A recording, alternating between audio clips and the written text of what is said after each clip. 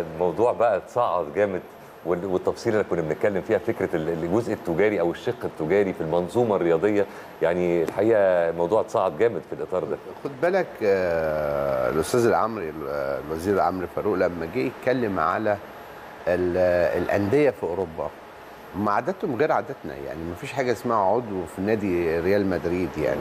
ده دي فرقة فيها ثلاث ألعاب أو أربع ألعاب ولكن ده اقتصاد قوي جدا. يعني هم مركزين في دي لكن انت علشان عندك دور آه، زي ما الأستاذ عمرو اتكلم على آه، دورك ال- في المجتمع المصري انك انت انك تعمل آه، ألعاب كتيرة وتعمل آه، للأعضاء وتعمل خدمات للأعضاء دي ده ده حاجة غير الكورة خالص يعني علشان كده علشان كده انت لما تيجي تعمل آه، آه، عاوز تجيب فلوس لأي نادي انت هتجيبها منين؟ من اللعبة الشعبية الأولى أو أو أنت تجمد الألعاب الأخرى علشان تدي دخل ما تبقاش تصرف بس. فهي هي قضية كبيرة جدا وقضية المفترض إن الناس تبقى تاخد باله بالها منها يعني آه، في الأندية كلها. لأنك أنت لو ما وقفتش العصر وإنك ما ما بحثتش عن دخل يعني لك أن تتخيل في أندية شعبية جماهيرية انتهت في مصر. يعني انت بتتكلم على المحلة مثلا هي رجعت الدوري ودي حاجة كويسة قوي لكن المحلة دي طول عمرها نادي رقم كبير ونادي ورقم صعب في مصر في كرة القدم. المفترض إنه ما كانش يغيب عن الدوري دقيقة مش طبعا. مش سنين.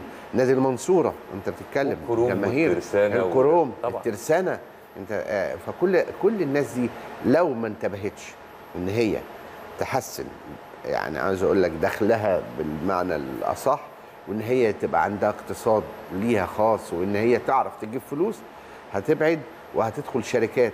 وأديك شفت ال- المستثمرين فعلا دخلوا. تجربة بيراميدز. تجربة بيراميدز دي تجربة هايلة جدا في مصر. خلي بالك الناس ممكن يكون في مشد شد وحاجات كده لكن التجربة نفسها ناجحة جدا فوق ما تتخيل. بدليل انه نادي عندك في أربعة من أربعة لستة أو سبعة لعيبة في المنتخب القومي يعني أفاد الكرة المصرية. وعمل وعمل جايين من منين؟ أيوه ما هو احتراف ما إحنا آه، بنتكلم على احتراف يعني- ولكن أيوه مش يعني مش نشء وبعدين يعني آه، كبروا مثلا في فريق أول. لا بص أنا عاوز أقول لك حاجة. ما هو أنت في أندية لو خدت لو خدت تاريخها تلاقيها آه، أنشئت مثلا سنة 72 وفي أندية أنشئت سنة 86 وفي أندية أنشئت سنة 98 وفي 2007 وأندية بتاخد بطولات دلوقتي. لكن هو الأمر اللي أنا بتكلم الإفادة إنك كل ما تكتر الأندية يعني دلوقتي إف سي مصر اتخذت آه آه اللي في هي. زاد آه آه طب دي حاجة آه دي حاجة تبقى كويسة مع بيراميدز.